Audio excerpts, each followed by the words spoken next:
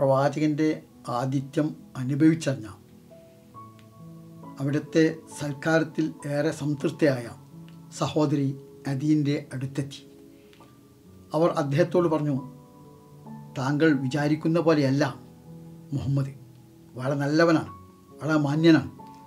അതിനാൽ നീ അദ്ദേഹത്തെ പോയി കാണണം. നന്നായി പഠിക്കുകയും മനസ്സാക്കുകയും ചെയ്യണം. അങ്ങനെയാണ് അദീബിന് ഹത്തിം മദീനയിലെത്തിയത്. അപ്പോൾ അവിടെ ഒരു കറുത്ത അടിമപ്പെണ്ണ് വന്നിരുന്നു. അവർ പ്രവാചകനോട് സംസാരിക്കാൻ അല്പം സമയം ചോദിച്ചു. അപ്പോൾ നബി തിരുമേനി പറഞ്ഞു മദീനയുടെ ഏത് തെരുവിൽ വെച്ചും എത്ര സമയം വേണമെങ്കിലും നിനക്ക് എന്നോട് സംസാരിക്കാം. അങ്ങനെ പ്രവാചകൻ അവിടെ കൂടെ അല്പം മാറിയിരുന്നു ദീർഘനേരം ആ കറുത്ത അടിമപ്പെണ്ണുമായി സംസാരിച്ചു. തിരിച്ചു വന്ന പ്രവാചകനെ അദീബിന് സന്ദർശിച്ചു. തന്റെ വിശ വിശദാംശങ്ങൾ പറഞ്ഞു. അപ്പോൾ നബി തിരുമേനി അദ്ദേഹത്തെ തന്റെ വീട്ടിലേക്ക് കൂട്ടിക്കൊണ്ടുപോയി.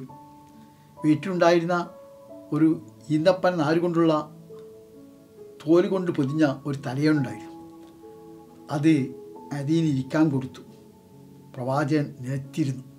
അതോടെ അദീ മനസ്സാക്കി. ഞാൻ കരുതിയ പോലെ ഒരു ഏകാധിപതിയായ രാജാവല്ല. ഒരു മർദ്ദകനായ നേതാവുമല്ല.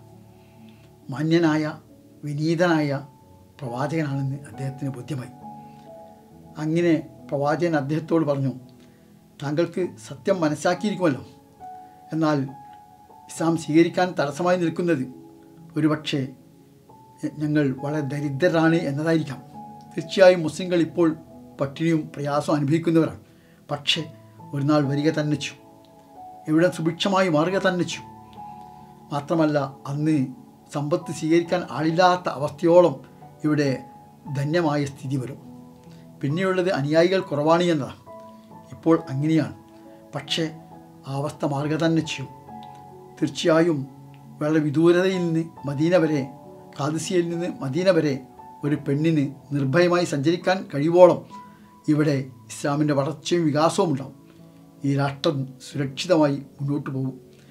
മൂന്നാമതായി പറഞ്ഞു ഒരുപക്ഷേ ഇപ്പോഴുള്ള ദൗർബല്യമായിരിക്കാം ശക്തിയുടെ കുറവായിരിക്കാം ഇസ്ലാം സ്വീകരിക്കുന്നതിൽ നിന്ന് താങ്കളെ തടയുന്നത്.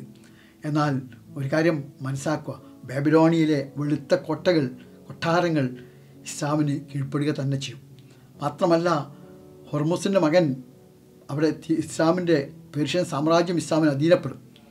അവിടുത്തെ ഖജനാവുകൾ തീർച്ചയായും ഇസ്രായേലിന്റെ ഖജാ ഖജനാവുകൾ ഇസ്ലാമിക സമൂഹത്തിന് ലഭിക്കുക തന്നെ ചെയ്യും. ഇത് കേട്ട് സംതൃപ്തനായ അതി സന്മാർഗം സ്വീകരിച്ചു. മാത്രമല്ല അദ്ദേഹം നേരത്തെ തന്നെ ഈ കാര്യം മനസ്സാക്കിയിരുന്നു പക്ഷേ പ്രവാചകന്റെ വാക്കുകൾ അദ്ദേഹത്തെ അത്ഭുതപ്പെടുത്തി.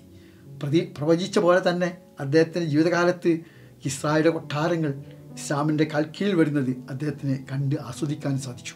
അതായിരുന്നു അദീന്റെ ജീവിതാനുഭവം. ആരെയും അമ്പരപ്പിക്കുന്ന ജീവിത അവസ്ഥ അള്ളാഹു നമ്മയൊക്കെ അനുഗ്രഹിക്കുമാറാവട്ടെ.